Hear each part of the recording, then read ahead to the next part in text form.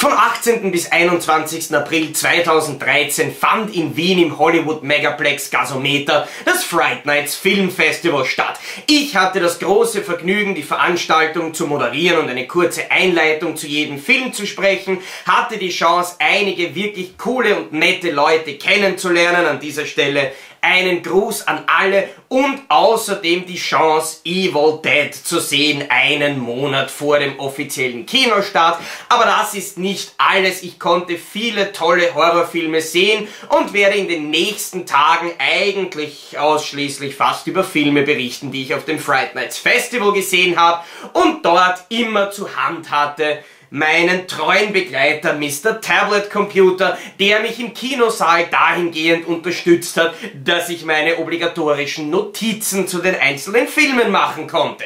Evil Dead allerdings war was Besonderes, weil wie wir im Vorhinein immer äh, über Facebook und die Homepage berichtet haben, musste man bei dem Film seine Handys und sonstigen technischen Geräte aus Sicherheitsgründen abgeben, was bedeutet, dass ich wieder etwas oldschool werden musste und einige Seiten Text verfassen, was in der Dunkelheit eines Kinosaals möglicherweise alles andere als einfach war, vor allem wenn man dann daran denkt, dass ich das Ganze wieder lesen muss. Und nur um mich selbst einmal kurz auszublenden und euch einen kurzen Eindruck davon zu geben, wie leicht das war, ja, in der Zeit, die ich brauchte, um das abzutippen, hätte ich mir den Film wahrscheinlich ein zweites Mal anschauen können.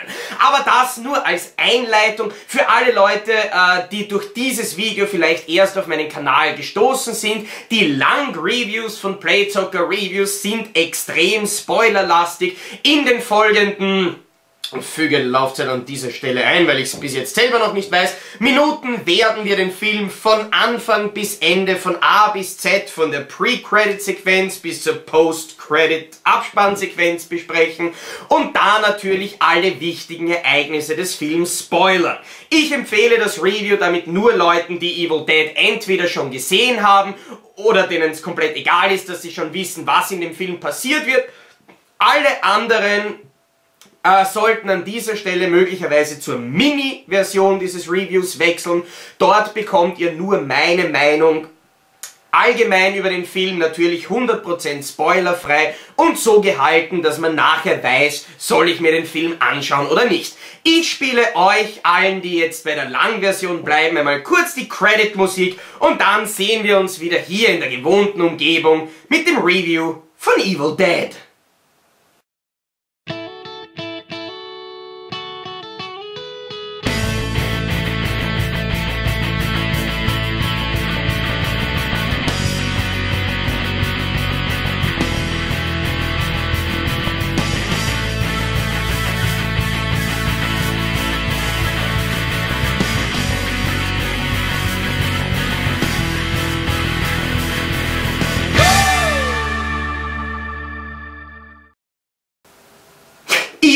2013 beginnt damit, dass eine Frau blutverschmiert durch den Wald geht, dann von zwei Männern gestellt und zu Boden gedrückt wird. Ich frage mich in der Zwischenzeit, ist das wirklich ein Remake von Evil Dead oder vielleicht doch von I Spit on Your Grave, bis sie dann in irgendeine entlegene Hütte gebracht dort an einen Pfosten gefesselt, mit Benzin übergossen und angezündet wird, wo sich mir die Frage aufdrängt, Remake von Hexen bis aufs Blut gequält, aber wir erfahren dann, dass es sich tatsächlich um irgendein Dämonenaustreibritual handelt, wo sie eben durch das Feuer äh, geheilt werden soll. Aber offensichtlich reicht das nicht und während sie brennt, offenbart sie ihr wahres dämonisches Gesicht und ihr Vater jagt ihr eine Ladung von der Schrotflinte mitten durch die Visage, was mich allerdings etwas wundert, weil wenn ich ein bisschen vorgreifen darf in die Handlung von Evil Dead, heißt es, es gibt grundsätzlich drei Möglichkeiten, Möglichkeiten, um einen Dämon auszutreiben. Das eine ist eingraben, das andere ist ausweiden und das dritte ist verbrennen. Wieso der Dämon in dieser Pre-Title-Sequenz das offensichtlich nicht mitbekommen hat, ist wiederum eine andere Frage. Die nächste Frage, die ich mir da stellen muss, ist, ist es wirklich so wahnsinnig intelligent, jemanden im Keller einer Holzhütte an einen tragenden Pfeiler anzubinden und dort abzufackeln. Möglicherweise könnte das die Stabilität des Hauses ein kleines bisschen gefährden, besonders wenn wir alle im Keller sind und uns dieses Holzteil dann auf die Rübe fällt und wir wissen ja spätestens seit Tanz der Teufel, dass selbst irgendein dünner Balsaholzschrank offensichtlich schon ausreicht, um jemanden wie Bruce Campbell minutenlang am Boden zu fesseln. Im Sinne von, oh nein, Hilfe, das ist so schwer. Ich darf mich nur nicht genug bewegen, weil sonst sieht das Publikum, wie nicht schwer es wirklich ist. Äh, ja, lassen wir das. Und jetzt kommt dann die Titeleinblendung Evil Dead und unsere Gruppe kommt zu diesem entlegenen Haus im Wald. Was für ein Zufall, es könnte möglicherweise das gleiche sein, aber das wissen wir ja noch nicht offiziell. Was mir sofort auffällt im Vergleich zum ersten Teil ist, abgesehen davon, dass es so eine Pre-Credit-Sequenz gibt, ähm, uns fehlt diese lange Aufnahme, wo sie mit dem Auto in Richtung des Hauses fahren. Es fehlt dieses Klopfen an der Wand. Heißt, irgendwie findet diese Anfangsszene, dieses Ankommen beim Haus ohne irgendeine bestimmende Atmosphäre statt. Dafür allerdings hat die neue Version von Evil Dead etwas, was das alte äh, Tanz der Teufel Filmchen nicht hatte, nämlich eine unfreiwillig komische Vorstellung der Gruppe, wo jeder mehr oder weniger die Aufgabe hat, die Namen der anderen sowie das, was sie tun, zu nennen. In dem Sinne wie Hallo Olivia, du bist ja jetzt Krankenschwester, wie geht's dir damit? Oh, Danke, Eric! In diesem Sinne, und meine, meine Lieblingsdialogzeile von dieser Sequenz des Films ist, wo David zu Mia hingeht. Mia sitzt auf einem Auto und David ähm, wird quasi gefragt, ah, ich finde es so toll, dass du gekommen bist. Und David sagt darauf, ich bin dein großer Bruder, da musste ich doch kommen. Mhm. Dialoge wie, hallo, ich bin dein Bruder, du bist meine Schwester, wie geht's dir?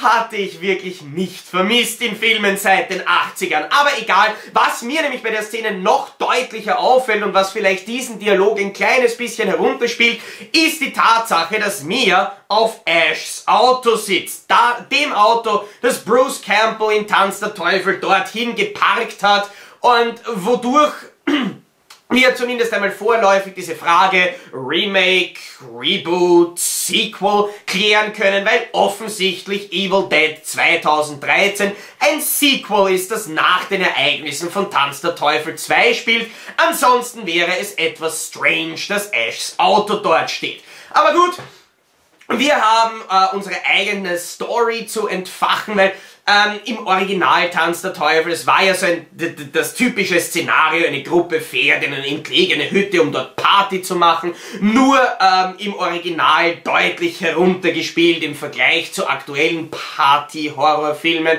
ähm, die ja grundsätzlich mehr, meistens nur aus Alkohol, Drogen und Geschlechtsverkehr bestehen bis zur Zweidrittelmarke, wo sich einige Filme dann langsam dran erinnern, hey, wir sind ein Horrorfilm, es könnte langsam ein Killer auftauchen.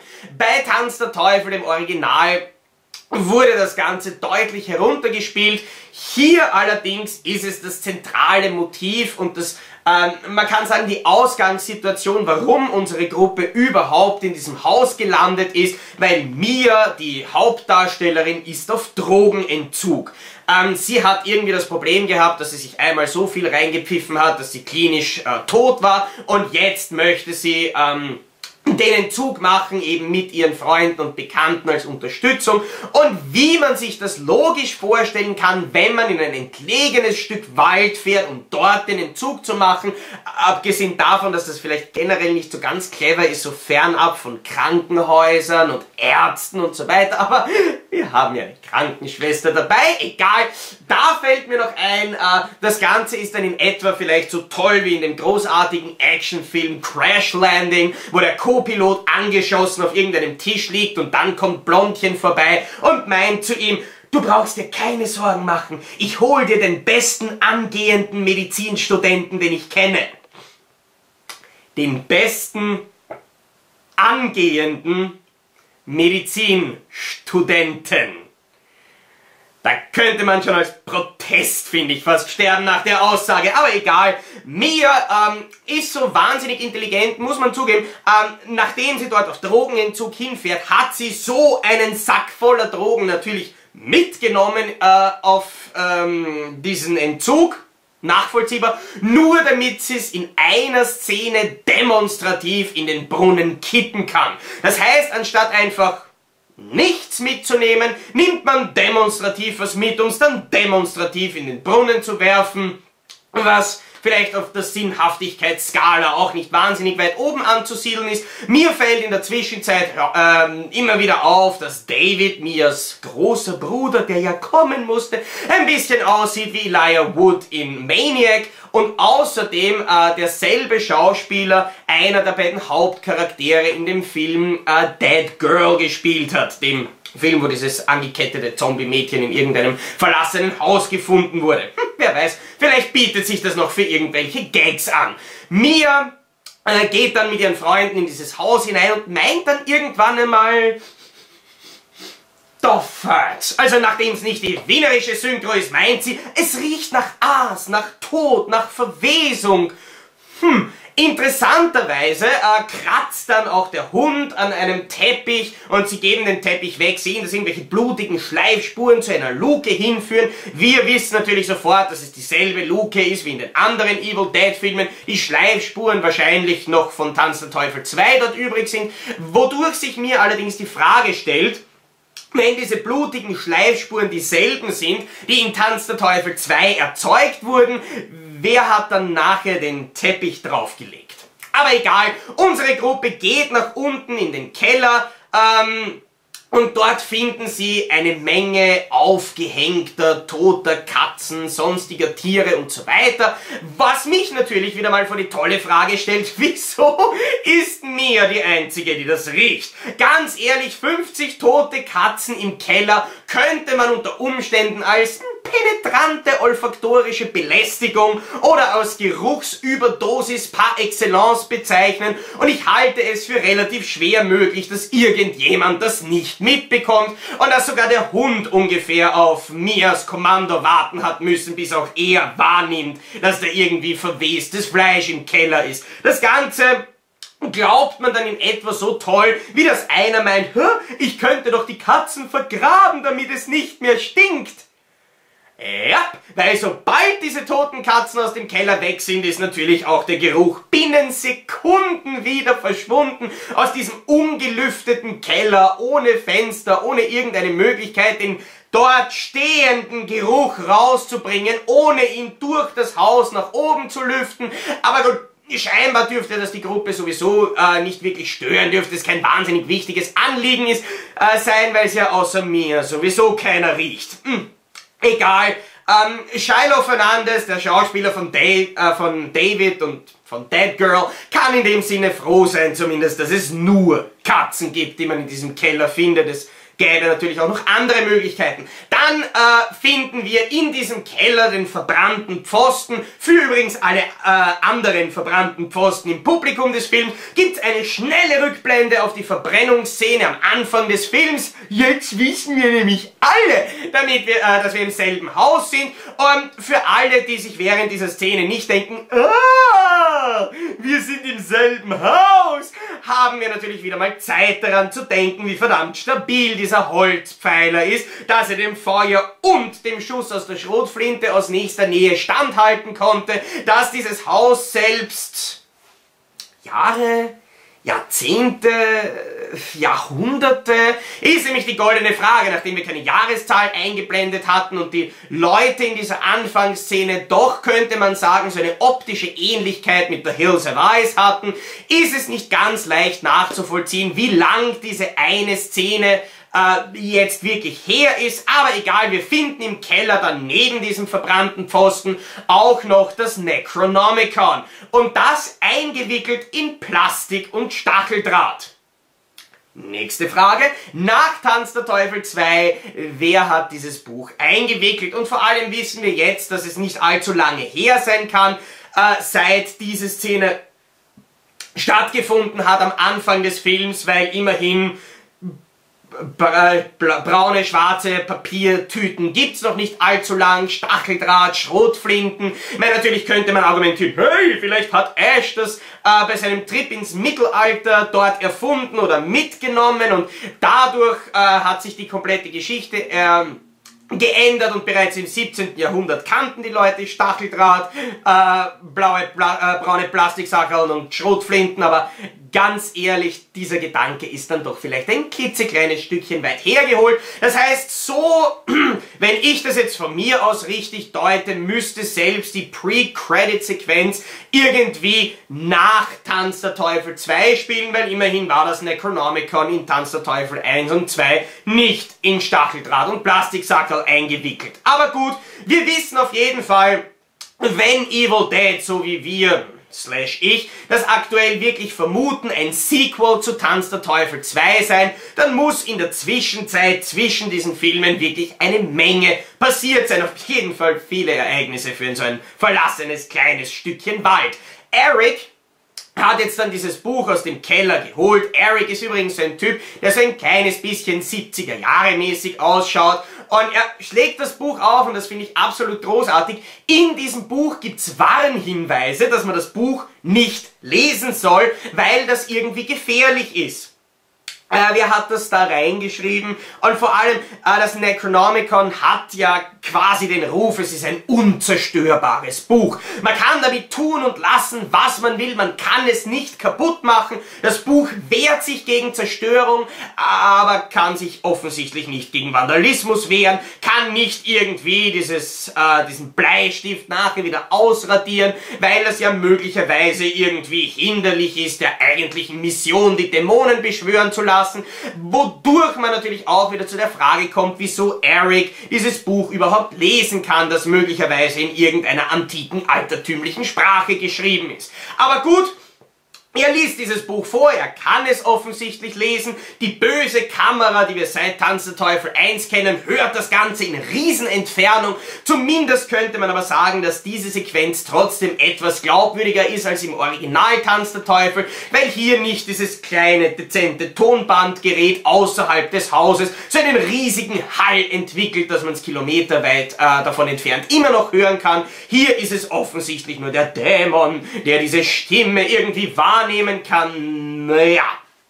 Auf jeden Fall, Mia hat langsam die Schnauze voll, will gehen, wirft ihre Halskette auf den Boden. Die Halskette übrigens ist, ich will nicht sagen dieselbe, aber zumindest eine sehr ähnliche, ähm, die Ash in Tanz der Teufel Linda geben wollte, so ein Anhängerteil äh, mit so einer runden Lupe oder so irgendwas dran. Scheinbar Ashs Lieblingsgeschenk aus dem S-Mart und was ich wahnsinnig toll finde, nachdem ja selbst äh, Olivia, die Krankenschwester, vorher meinte, wir müssen unbedingt verhindern, dass Mia von dort wegkommt, weil Gefangenschaft sicher hilfreich ist beim Entzug, aber lassen wir das. Ähm, sie setzen das aber im Endeffekt so toll um, dass der Autoschlüssel für Mia ganz einfach griffbereit ist, weil sie meint einfach, sie geht, hat plötzlich den Autoschlüssel in der Hand, kann sich ins Auto setzen und wegfahren.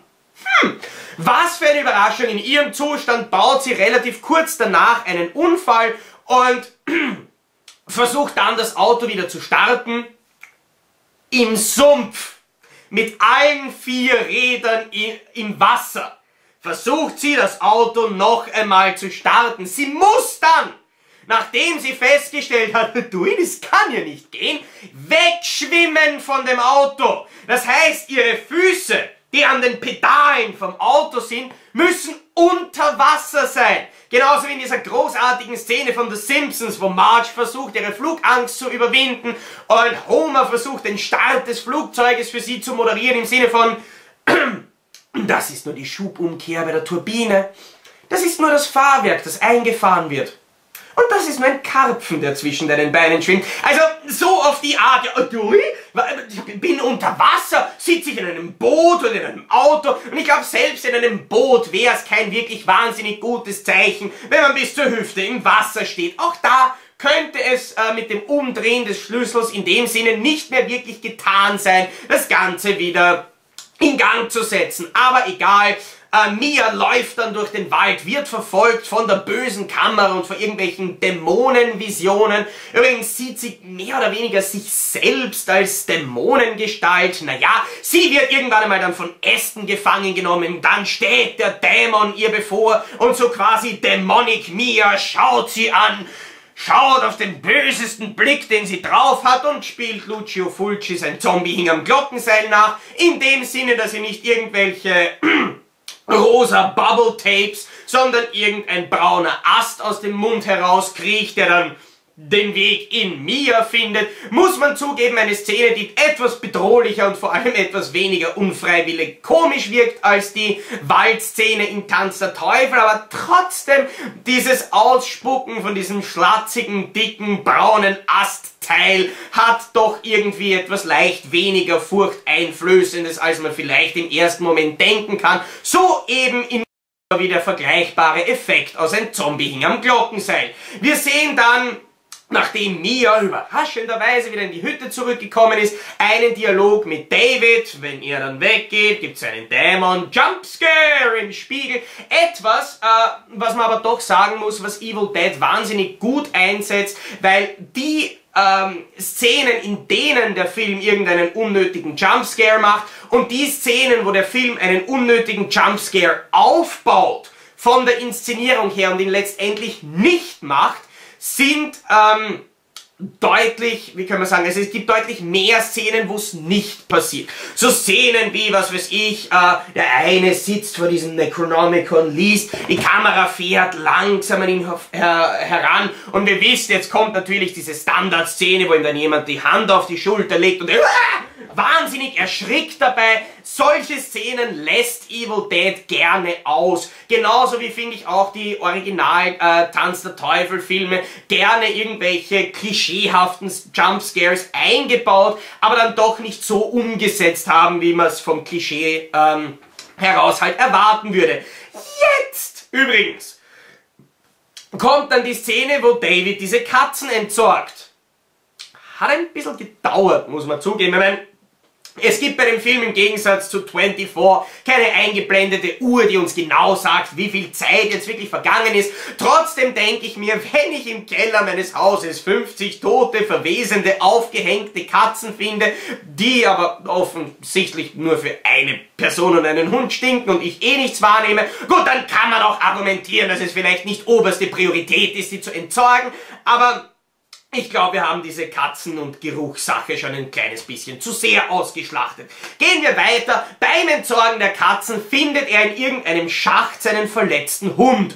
Und wie man das offensichtlich in so einer Situation macht, zerrt er den Hund am Halsband aus dieser Luke heraus, nimmt ihn in den Arm und weil das so schwer vorstellbar ist, was da vielleicht passiert äh, sein könnte, sehen wir ein Flashback, wo Mia mit einem Hammer im Off auf diesen Hund einschlägt und ich habe eine ganz einfache Frage dazu. Ein Wort. Wann?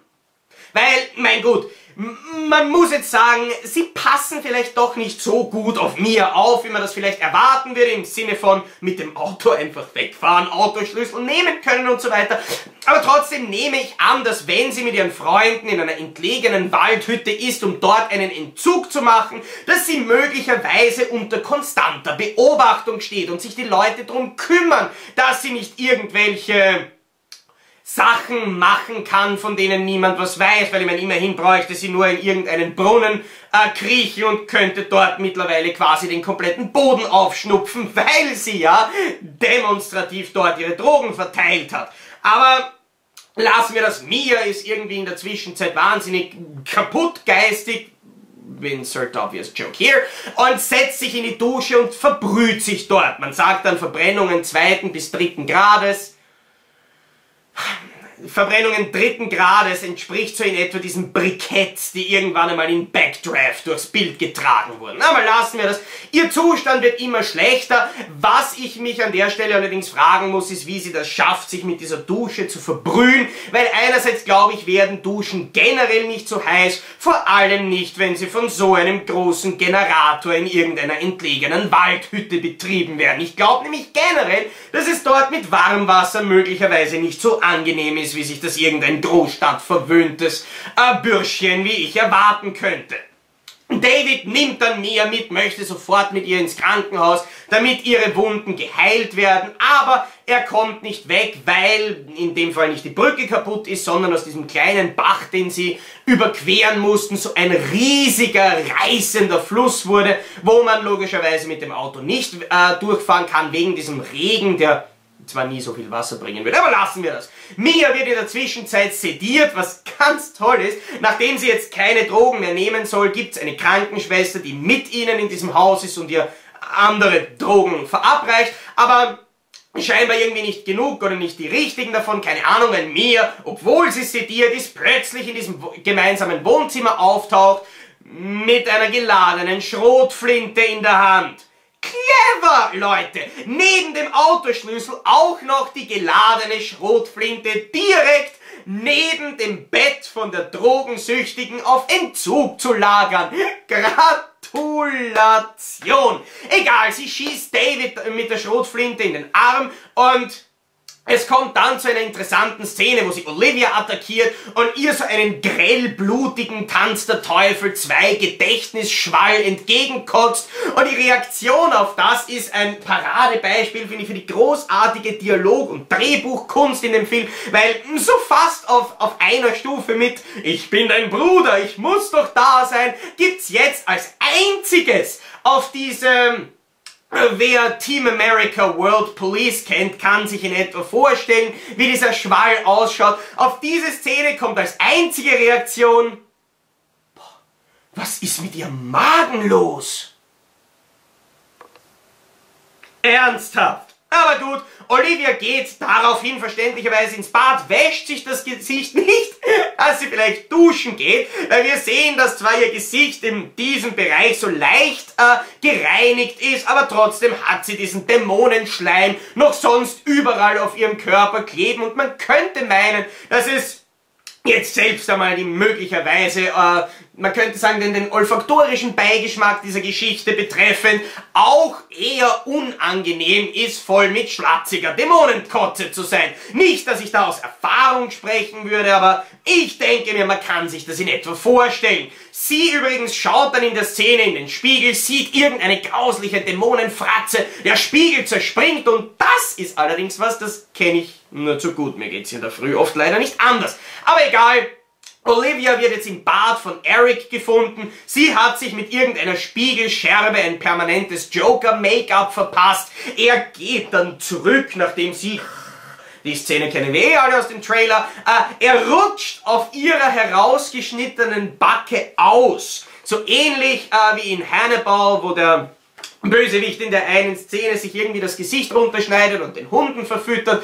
Da gibt's allerdings dann die, muss man zugeben, unfreiwillig möglicherweise dezent komische Szene, wo Eric einen Schritt zurückgeht, auf diesem Backenteil ausrutscht, hinfällt und sich mit dem Kopf an der Klomuschel vielleicht ein bisschen K.O. dämpert. Ähm, Sie geht auf ihn zu, sticht ihm eine Spiegelscherbe in die, in die Brust, abgesehen davon, dass sie sich natürlich an ihrer eigenen Hand durch diese Aktion überhaupt nichts tut und beginnt dann mit einer Spritze auf sein Gesicht einzustechen. Letztendlich, was für ein Glück für ihn, dass er eine Brille aufhat und die Nadel landet dann letztendlich in seinem Tränensack genau einen halben Millimeter unter dem Auge, was wir selbstverständlich glauben und nicht nur als unnötigen Filmzufall abtun.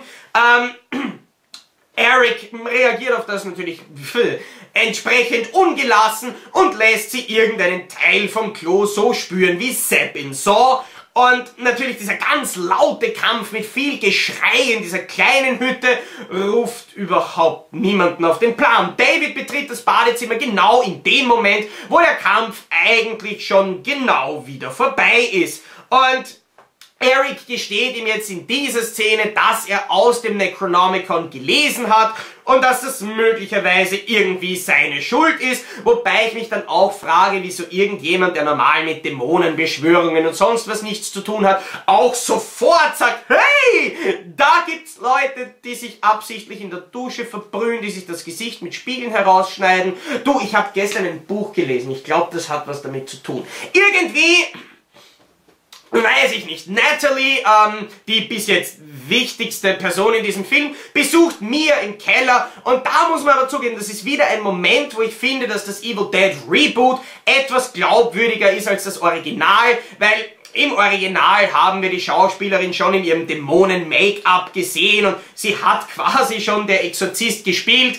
aber und trotzdem gehen dann die Leute zu ihr nach unten und meinen, oh, du hast zwar vorher ausgesehen wie ein überfahrenes Frettchen nach 14 Tagen, aber jetzt geht's dir wieder gut, das finde ich fein, aber hier im Evil Dead Reboot könnte man quasi alles, was mit mir bis jetzt passiert ist, was sie Unheimliches angestellt haben, auf ihren Entzug, auf ihre Drogensucht zurückführen, inklusive dieser Dämonenschleim-Kotzattacke, ähm, weil es ist ja nur irgendwas mit ihrem Magen los. Auf jeden Fall wird's dann unten ziemlich heftig, weil Mia mit so einem Stanley-Messer, ähm, man könnte sagen, den Kiss of Death für ihre Zunge übt. Sie schneidet sich so längs die Zunge durch, kennen wir ebenfalls schon aus dem Trailer. Und überraschenderweise kann übrigens David auch Natalie genau in der letzten Sekunde wieder vor äh, Demonic Mia retten, indem er sie die Stiegen raufzerrt und da sehen wir dann, weil sie versucht zu flüchten, plötzlich sind die Stiegen so morsch und zerbrechen unter ihren äh, Schritten. Weil ich mich ehrlich gesagt fragen muss, ist ihr das beim Runtergehen nicht schon aufgefallen, dass diese Stiegen etwas morsch sind und vor allem, nachdem unsere Gruppe schon mindestens zweimal in diesem Keller unten war, einmal um die Katzen zu finden und einmal von David, um die Katzen von dort rauszubringen, äh, könnte man meinen, dass die Tatsache, dass diese Stiegen möglicherweise nicht die stabilsten sind, schon irgendwie landläufig bekannt sind, aber nachdem er sie rausgezerrt hat, beginnt David sofort mit den Nägeln und einer Kette und einem Hammer diese Luke zu versiegeln. Logischerweise hatte er Hammer, Nägel und Kette offensichtlich eingesteckt, quasi das erste Hilfepaket für Möchtegern MacGyvers. Woher er das nämlich wirklich hat, wird im Film nicht geklärt. Er kommt frisch aus dem Badezimmer von seiner Szene mit Eric, geht ins Wohnzimmer scheinbar, findet dort Natalie, zerrt sie raus und hat dann plötzlich die ganzen Tools in der Hand. Tim the Toolman Taylor hat, glaube ich, seinen neuen Meister gefunden. Eric erzählt dann, dass sie Mia töten müssen, um diesen Dämon auszutreiben und dass es eben drei Möglichkeiten dafür gibt. Eben äh, das Ausweiten, das Eingraben und das Verbrennen. Weil ich mir zugeben muss, ähm, der Kerl wird es dann sogar schaffen, aus der Exorzistin einen Kurzfilm zu machen. Stellt euch vor, der Pfarrer taucht auf mit einem Benzinkanister und einer Schrotflinte, geht dann einfach wieder und meint, hm, die Rechnung kommt morgen mit der Post, auf Wiedersehen. In der Zwischenzeit verändert sich ähm, Nathalies Hand. Etwas strange, muss man zugeben, weil zum Glück liegt neben ihr sein elektronisches Brotmesser, das auch schon eingesteckt ist, sodass sie sich ebenfalls wie bereits im Trailer zu sehen, aber wesentlich expliziter, diesen Arm absägen kann. Nur halt nicht so ganz. In der Zwischenzeit, ähm, das Coole ist, ähm, wir sehen zwischendurch ein paar Zwischenschnitte so auf Demonic Mia, die sie dabei beobachtet und versuchte das Ganze auszureden und dann einen großartigen Dialog zwischen David und Eric, wo der eine meint, alles wird gut. Der andere sagt drauf, Sie hat sich den Arm abgeschnitten und du meinst, alles wird gut. In der Zwischenzeit steht dann Natalie auf und wir sehen, dass sie sich eben den Arm so abgeschnitten hat, wie bei dem fast kopflosen Nick, dass noch so ein klitzekleines Sehnchen quasi intakt geblieben ist, was sicher bei so einem elektronischen Brotmesserteil richtig einfach ist und dass sie, wenn sie aufsteht, quasi demonstrativ ihr der Arm abfallen kann. Logisch. Uh, und dann kommen wir, nachdem Evil Dead jetzt ein Remake von I Spit on Your Grave, Hexen bis aufs Blut gequält und pff, obviously Evil Dead war, kommen wir jetzt zum Remake-Teil von Nail Gun Massacre. Oder der, äh, dem Part des Films, den ich gerne nenne, Nagelpistolen funktionieren so nicht. Weil Wir kennen Nagelpistolen in erster Linie dadurch, äh, dass sie so einen Schlauch unten hängen haben, der eben notwendig ist dafür, dass die Druckluft in das Gerät kommen kann und dort die Nägel dann nach draußen befördern kann. Abgesehen davon, dass dieses ganze Teil natürlich Sicherheitsmechanismen hat, die eben verhindern sollen, dass man mit dem Gerät einfach bum bum durch die Gegend schießen kann. Abgesehen davon, dass es weder diesen Sicherheitsmechanismus noch irgendeine Form von Druckluftkanister äh, oder sonst was, Schlauch gibt. Man könnte natürlich sagen, ho, vielleicht wird die mit einer 9 Volt Batterie elektrisch ausgelöst oder hat wie so eine Sodamaschine so eine kleine Gaskartusche drinnen. Dann glaube ich aber kaum, dass man die Nägel quer über einen Raum durch den Arm von jemandem schießen kann und dem seinen Arm auf dessen Oberkörper befestigen damit. Das kann ich mir nur schwer vorstellen. Ähm, ich meine, es kann natürlich sein, dass es irgendwo auf der Welt mittlerweile Nagelpistolen äh, gibt, die so funktionieren.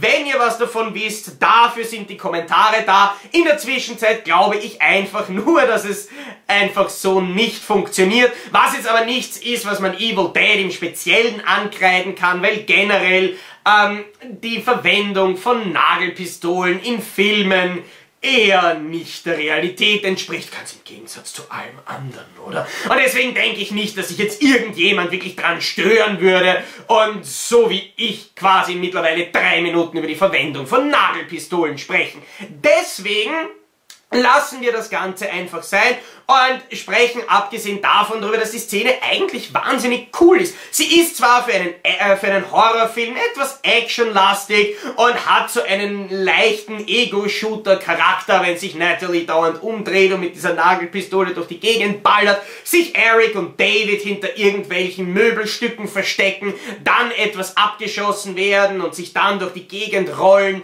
nur damit im Endeffekt Natalie wieder herkommt mit irgendeiner Brechstange und damit auf Eric einschlägt schlägt und ihm wirklich in einer schmerzhaften Aufnahme die Pfote zertrümmert und auch ein, ein relativ cooler Moment ist dann am Ende, äh, wo sie mit dieser Brechstange so über Eric steht und ihm quasi den Rest geben will. David hat zufällig dann die Schrotflinte gefunden, schießt auf sie, schießt ihr den, die zweite Hand ab, die fällt äh, vielleicht etwas CGI-lastig, aber egal, auf den Boden. Sie dreht sich um und meint, warum tust du mir weh? Hm, schwer nachvollziehbare Gedanke. Und da, danach verblutet sie quasi in seinen Händen und irgendwie hat diese Szene, was ich meine, abgesehen davon, dass wirklich mit diesem, ähm, das Absägen des Armes bis hin zu der ganzen Nailgun-Geschichte und jetzt dann dem Verbluten, ähm, dass das wahrscheinlich die blutigste, abgesehen vom Finale, Szene des ganzen Evil Dead Films ist, hat sie, finde ich, auch etwas von diesem Drei Stooges Sketch aus Tanz der Teufel, weil auch hier relativ viel Blut vorkam und es irgendwie eine Szene war, die etwas out of nowhere kam und als eine der wenigen Szenen des Films ansatzweise irgendwie Humor durchscheinen hat lassen. Ich meine, im Original Tanz der Teufel war das Ganze dann etwas slapstickhaft, aber hier ist es dann auch wieder die einzige Szene, die eine Mischung aus echtem Horror und dann doch etwas skurriler Comedy bietet, wobei man hier natürlich den Eindruck hat, dass die Comedy 100% gewollt ist und nicht irgendwie unfreiwillig. Ähm, und es ist auch jetzt nicht wirklich so eben, dass man was zum Lachen hat, sondern nur, dass man sich etwas wundert über die Geschehnisse auf dem Bildschirm. David will als Reaktion darauf das Haus abfackeln, aber dann hält ihn seine singende Schwester Mia aus dem Keller davon ab. Ich find's immer wieder geil, wie oft sich dieselbe Gruppe in demselben Film von demselben Dämon mit demselben Schmäh reinlegen lässt. Fast so, als wären Leute in Horrorfilmen grundsätzlich bescheuert. Aber was natürlich ganz, ganz logisch ist, ähm, David kann jetzt Mia nicht verbrennen, weil sie ist ja seine Schwester und so weiter, aber er kann sie betäuben, aus dem Haus bringen und lebendig begraben. Das, das leuchtet sofort ein. Er geht nach draußen, beginnt sofort damit, das Grab auszuheben. Die Tatsache, dass er vorher mit einer Schrotflinte abgeschossen wurde und mit einer Nagelpistole und möglicherweise irgendwo in seinen Armen noch Wunden hat, die binnen zwei Stunden nicht verheilt sind, scheinen ihn dabei überhaupt nicht zu stören. Ähm, und dann frage mich noch, wie genau will er mir in dieses Loch bringen? Weil im Gegensatz zu Linda aus Tanz der Teufel ist sie nicht leblos und wer sich noch an den Film erinnern kann, weiß, dass auch dieses Unterfangen nicht ganz so gut ausgegangen ist, wie Ash das ursprünglich geplant hatte.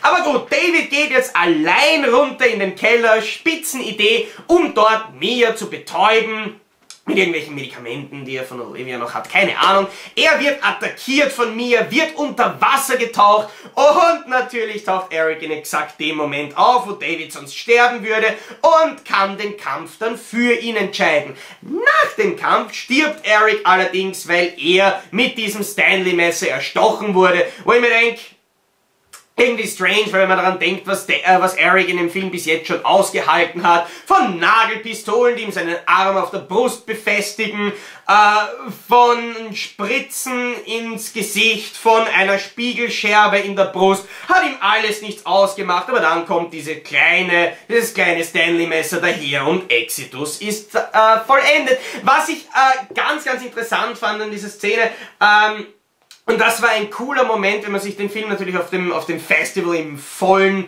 Saal 1 vom Megaplex anschaut. Das Ende der Szene ist dann in etwa so, dass Eric so mehr oder weniger zusammengekauert da sitzt und David hergeht und ihn quasi einfach umdreht und ins Wasser legt. Mit dem Kopf voran. Hoffentlich war Eric wirklich tot und nicht nur irgendwie bewusstlos oder betäubt, weil dann hätte ihn David offiziell umgebracht. Und vor allem ist, ist die Szene generell pff, strange. Ich meine, oh, da sitzt mein bester Freund, der jetzt vielleicht tot ist. Hm, plopp. Legen wir ihn um, sprichwörtlich. Aber gut. In der Zwischenzeit ist es dann aber auch geschafft, dass Mia jetzt bewusstlos ist, dass David sie natürlich im Off nach draußen schaffen kann. Dadurch ersparen wir uns nervige Fragen wie, wie schafft das der schwer verletzte David, der fast gerade gestorben wäre und abgesehen davon noch immer ein paar Schussverletzungen hat, äh, Mia nach draußen zu bringen und vor allem, wie schafft er das über die morschen, teilweise schon zerbrochenen Stiegen mit quasi dem doppelten Gewicht auf einmal nach oben zu kommen, aber wir cutten einfach nach draußen, wo David äh, dann Mia eingräbt. Und jetzt, nachdem er sich natürlich fast wieder noch einmal reinlegen hätte lassen, ist klar, sind jetzt offiziell außer David äh, alle tot. Damit ist eigentlich David quasi unser äh, Ash-Ersatz in dem Film und da, was? Gerade während ich noch weiter quasi notieren wollte, was man alles jetzt über, über David als Ash-Ersatz sagen könnte, gräbt David mir wieder aus. Er schafft sie aus dem Keller nach oben, gräbt sie ein, steht ungefähr 15 Sekunden da, gräbt sie wieder aus, bringt sie ins Haus zurück und baut dort aus diesem kleinen Generator slash Autobatterie, whatever, einem Stromkabel, drei Spritzen, einen Defibrillator. Jetzt nichts gegen den großartigen Charakter Ash und gegen Bruce Campbells fantastisches Schauspiel, aber vor allem in Evil De äh, vor allem in Armee der Finsternis dann, hat man doch gemerkt, dass Ash vielleicht nicht das intelligenteste Wesen unter dieser Sonne ist. Auch David, muss man zugeben, hat sich vom äh, zerebralen Brauchbarkeitsfaktor bis jetzt nicht möglicherweise als Krone der Schöpfung erwiesen und plötzlich ist er da als jemand, der, was weiß ich, die unglaublichste Wiederbelebungsmethode seit 96 Hours oder seit Kiefer Sutherland in 24 mal wieder jemanden wiederbeleben slash foltern wollte. Drei Spritzen, ein Stromkabel und der Generator aus einem verlassenen Haus sorgen dafür, dass jemand wieder zum Leben erwacht. Ja, wenn das funktioniert, hat Dr. Herbert West seinen neuen Meister gefunden. Aber natürlich, die Version geht schief, mit mir passiert genau gar nichts. David möchte gerade weggehen und plötzlich steht Mia hinter ihm auf. Normal. Ich darf daran erinnern, sie war für fünf Sekunden noch tot. Jetzt kann sie plötzlich wieder stehen und normal sprechen, weil das ja auch bei Leuten, die im Koma waren, so normal ist. Man wacht auf und es gibt keine so Wackel mit dem kleinen C-Nummern. Nein, man kann einfach sofort daraufhin wieder einen Marathon laufen. Und halt, ah, au, au. Ich glaube, ich habe es gerade verstanden. Au. Wir erinnern uns an Erics Erklärung zurück. Mia muss sterben, damit sie der Dämon verlässt. Entweder durch Ausweiden, Verbrennen oder Eingraben. Das heißt, David hat sie eingegraben, damit der Dämon sie verlässt. Sie sofort danach wieder ausgegraben und wiederbelebt, dass sie quasi ohne den Dämonen in sich wieder aufwacht. It sucks so hard. Aber lassen wir das. Ähm, in der Zwischenzeit, weil ja in der letzten Zeit offensichtlich noch nicht genug passiert ist, wacht Eric wieder auf als Zombie, attackiert David, der gibt mir den Autoschlüssel, das ist ja schon einmal wahnsinnig gut gegangen, und wirft sie förmlich aus dem Haus hinaus, bevor er dann die Tür schließt und mit ähm, Eric zu kämpfen beginnt. Das macht er so, indem er auf den Benzinkanister schießt und damit das ganze Haus in die Luft sprengt. Kurzer Einwand. Dieser Benzinkanister ist derselbe, den er vorher ausgeleert hat, wie er noch den Plan hatte, das Haus abzufackeln. Das heißt, dieser Benzinkanister ist leer. Und jemand, der ansatzweise weiß, wie Benzin funktioniert, müsste auch wissen, dass in der Zwischenzeit, die es gedauert hat, äh, Mia raufzubringen, einzugraben, auszugraben, wieder zu beleben, möglicherweise dieses komplette Benzin einfach verdampft ist. Und sofern er nicht genug Benzin ausgebreitet hat, um irgendwie einen Funken, ähm, dass quasi ein Funken ausreicht, um das Ganze zu zünden. Wiederum allerdings die Frage, wenn die Tür offen ist und vor allem Gäbe es diesen Funken nicht schon vorher, wie er sie wiederbelebt hat, mit der Autobatterie oder diesem Generator, hätte man eigentlich schon in die Luft fliegen sollen. Ist ja auch wieder egal. Es explodiert auf jeden Fall das Haus, die Fenster fliegen aus den Rahmen, die Tür bleibt davon unbeeindruckt. Auch Mia, die einen Zentimeter vor dieser Tür steht, spürt quasi gar nichts von dieser Explosion. Das ist sehr angenehm, könnte man sagen. Und ab diesem Moment beginnt ein Blutregen. Es regnet quasi dünnstes, rosanes Tanz der Teufel 2 Blut aus dem Himmel und Demonic Mia taucht wieder auf und attackiert Mia. Jetzt ist es ganz toll, dass wir vorher diese Tunnelszene mit dem Hund hatten, weil da kann sich Mia jetzt hineinflüchten, der Dämon sofort ihr nach. Mia klettert in diesen Werkzeugschuppen, schaut nach oben, sieht dort eine Machete und eine Kettensäge, die ihn zu zugegebenermaßen nicht mehr wahnsinnig guten Zustand da liegt, aber genauso wie in Texas Chainsaw Massacre The Beginning einfach da liegt.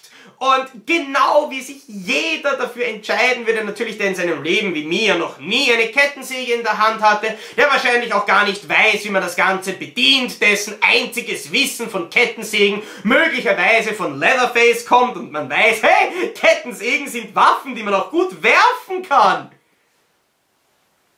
Anyways, sie entscheidet sich nicht für die Machete, die man ganz einfach verwenden könnte, auch als normaler Mensch. Nein, sie nimmt die Kettensäge, betankt diese, natürlich immer noch funktionierende Kettensäge, indem sie einfach dieses Teil nimmt und über die Kettensäge drüber leert. Hoffentlich gehen zumindest vier Tropfen in dieses Loch hinein, aber egal, in der Zwischenzeit könnte man sich dann doch denken, dass sich der Dämon ein kleines bisschen Zeit lässt. Mia ist in den Tunnel hinein, sofort wieder durch die Luke nach oben. Der Dämon ist in dem ist in diesen Tunnel hinein und wir warten ungefähr fünf Minuten, bis der Dämon nach draußen kommt. In der Zwischenzeit hat Mia dann auch noch die Gelegenheit, sich in irgendeinem Zwischenraum zu verstecken und The Raid nachzuspielen, weil genau wie in The Raid kommt jetzt dann Demonic Mia, nimmt die Machete, haut sie durch die Wand, trifft natürlich die ersten paar Mal Mia nicht und dann streift sie sie mit dieser Machete, diesmal ausnahmsweise nicht im Gesicht, sondern am Fuß und wir sehen dann auch noch langsam, wie sie diese Machete wieder rauszieht und Mia natürlich keinen Mucks von sich geben darf. Also wenn da nicht eine gewisse Szene Pate gestanden hätte, dann wäre das doch, finde ich, ein wahnsinnig großer Zufall. In der Zwischenzeit, danach schafft es Mia, äh, Demonic Mia mit der Kettensäge die Beine abzusägen. Der Dämon wirft das Auto und klemmt dabei Mias Hand ein und sie muss sich diese Hand abreißen, weil sie die Kettensäge nicht erreichen kann, um sie durchzusägen, muss sie sich die Hand abreißen, was etwas schmerzhaft aussieht, aber so weich, wie dieser Boden nach dem Blutregen ist, frage ich mich, wieso sie nicht einfach mit machen kann, und sie dann einfach drunten rausziehen. Da ist es irgendwie strange, dass sie sich die gleich abreißen muss, um sich zu befreien. Abgesehen davon, dass ich es vielleicht mir nicht unbedingt zutrauen würde. Jetzt kommt die große Konfrontation, quasi das, das Western-Duell. Mia steht da mit der Kettensäge, der Dämon kriecht in bester The Ring-Manier auf sie zu und Mia macht etwas, das im Kinosaal lauteste Jubelrufe hervorgerufen hat und was man nur ganz einfach mit vier Worten beschreiben muss. Chainsaw to the face! Und das in einer äh, Szene, die wirklich un unfassbar lang war. So ähnlich wie die Sexszene in Team America World Police, wo Trey Parker und Matt Stone offensichtlich die Szene nur so weit ausgedehnt haben, um zu checken, hey, schauen wir mal, was wir da an der MPAA noch alles vorbeibringen können. Und hier wirklich ungefähr 30 Sekunden rotiert diese Kettensäge durch den Schädel des Dämons, bis der dann gespalten in zwei Teilen zu Boden fällt, im Boden versinkt aber natürlich Mia und das Necronomicon direkt in der Nähe einfach liegen bleiben. Der Blutregen hört dann auf, ähm, Verwunderlich übrigens, dass auch das Necronomicon wieder nass, noch rot, noch sonst irgendwas ist. Und das nach einer halben Stunde ungefähr Blutregen, das Haus daneben immer noch brennt. Aber gut, die Sonne kommt raus, Mia ist gerettet, nur irgendwie ist es halt vielleicht blöd, dass das Auto auf der Seite liegt und sie nicht wegfahren kann. Während dem Abspann übrigens ähm, hören wir dann eine kurze Aufnahme von dem Tonband aus Teil 1 und nach dem Abspann, Achtung, Achtung, kommt Bruce Campbell, also halt seine Silhouette kommt kurz auf, dreht sich in die Kamera und meint, groovy. Und das war's mehr oder weniger. Also für alle, die sich gefragt haben, ist Bruce Campbell in Evil Dead zu sehen? Ja, für ganze eineinhalb Sekunden nach dem Abspann. Aber es fallen mir generell so viele Sachen auf bei Evil Dead, die ich einfach nur großartig finde. Man merkt einfach, dass Rob Tapper, Bruce Campbell und andere Leute, die am Original Tanz der Teufel beteiligt waren, hier die Finger mit im Spiel hatten. Evil Dead ist in meinen Augen ein man könnte sagen, fast der Idealzustand für ein Remake, Reboot oder Sequel nach so langer Zeit. Der Film erkennt seine Wurzeln an, er weiß, woher er kommt, er baut absichtlich dauernd selber References auf die Originale ein, die jemanden, der die Originale nicht kennt, nicht auffallen werden, die die nicht dafür sorgen, dass man den Film weniger gut versteht, wenn man die Originale nicht kennt, aber die einfach Kleinigkeiten sind, an die sich Fans des Originals stützen können. Und Außerdem, es ist ja grundsätzlich eine ähnliche Story wie das, der erste Tanz der Teufel, nur halt in die moderne Zeit übertragen und das mit den äh, Production Values von einem großen Kinofilm von Sony Pictures, der wirklich optisch hammermäßig ist. Der Film hat einige großartige Einstellungen, auch wenn man sich dann irgendwann einmal nach 60 Minuten fragt, wieso wir den 25. Establishing Shot von dieser Hütte brauchen. Aber die Kameraführung des Films ist gut, die Regie von Fede Alvarez finde ich auch wirklich gelungen und es schafft der Film grundsätzlich, ähm, das Alte und das Neue, was die, man könnte sagen, die Identität von Evil Dead 2013 ausmacht, wirklich gut zu balancieren. Einige Kleinigkeiten könnte man anmerken, so ist es beispielsweise, dass die Charaktere nicht wahnsinnig viel Substanz hatten und dass sie nicht so badass rüberkommen, wie man es vielleicht erwarten könnte. Gut, dass David jetzt nicht der badass Ash Impersonator ist, finde ich auch durchaus positiver, vor allem wenn wir daran denken, dass Bruce Campbell in zumindest den ersten zwei Dritteln von Tanz der Teufel selbst nicht wirklich der badass Ash war, wenn wir alleine daran denken, dass Scott ihm die Axt aus der Hand reißen musste, damit der eine Dämon zerstückelt war und Ash bis er dann am Ende aufgedreht hat, eigentlich meistens nur ängstlich in der Gegend herumgestanden ist. Außerdem gibt's da noch immer wieder so klitzekleine äh, Ideen äh, bei Evil Dead 2013. Zum Beispiel, wenn man die Anfangsbuchstaben der Namen unserer fünf Hauptdarsteller aneinander reiht, dann haben wir das Wort Demon. David, Eric, Mia, Olivia und Natalie. D-E-M-O-N. Demon. Was man damit anfangen kann, ist...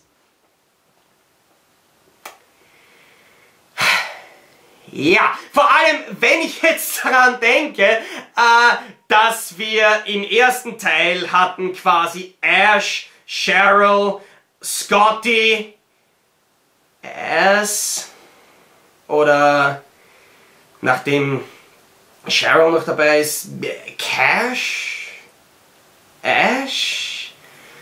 Lassen wir das. Vielleicht war das nur einfach ein klitzekleiner Gag fürs Reboot. Ich kann nur abschließend sagen, Evil Dead 2013 ist für mich der Idealzustand einer Neuauflage eines klassischen Horror-Franchises. Der Film erkennt seine Wurzeln an, baut ausreichend References auf die alten Filme ein, um Fans bei der Stange zu halten, sorgt aber auch dafür, dass Newcomer ihren Spaß mit dem Film haben können. Evil Dead ist keinesfalls ein perfekter Horrorfilm, vor allem hätten die Charaktere ein bisschen mehr Substanz und Persönlichkeit teilweise vertragen und das Marketing des Films ist meiner Meinung nach wieder mal schamlos übertrieben. Der schockierendste und brutalste Film aller Zeiten ist Evil Dead auf keinen Fall. Es ist auf jeden Fall ein Film, ähm, der, sagen wir mal, wahrscheinlich hart an der Grenze vom R-Rating bzw. der deutschen FSK-Freigabe ist, aber es ist jetzt nicht die Gore-Granate, die einem vielleicht die Trailer und die Erwartungen, ähm, die man durch das Marketing hat, versprechen, weil die wirklich harten Szenen kennt man eigentlich alle schon aus den Trailern. Sie werden zwar im Film noch deutlich länger gezeigt, aber Grundsätzlich neue Ideen dahingehend gibt's nur relativ wenige. Evil Dead ist in meinen Augen für Horrorfans auf jeden Fall ein sehenswerter Film, unabhängig davon, ob man jetzt Tanz der Teufel mag oder kennt. Es ist ein sehenswerter, es ist ein guter Horrorfilm. Es ist nur wieder mal ein Film, wo man sich auf keinen Fall genau das erwarten sollte, was einem das Marketing verspricht.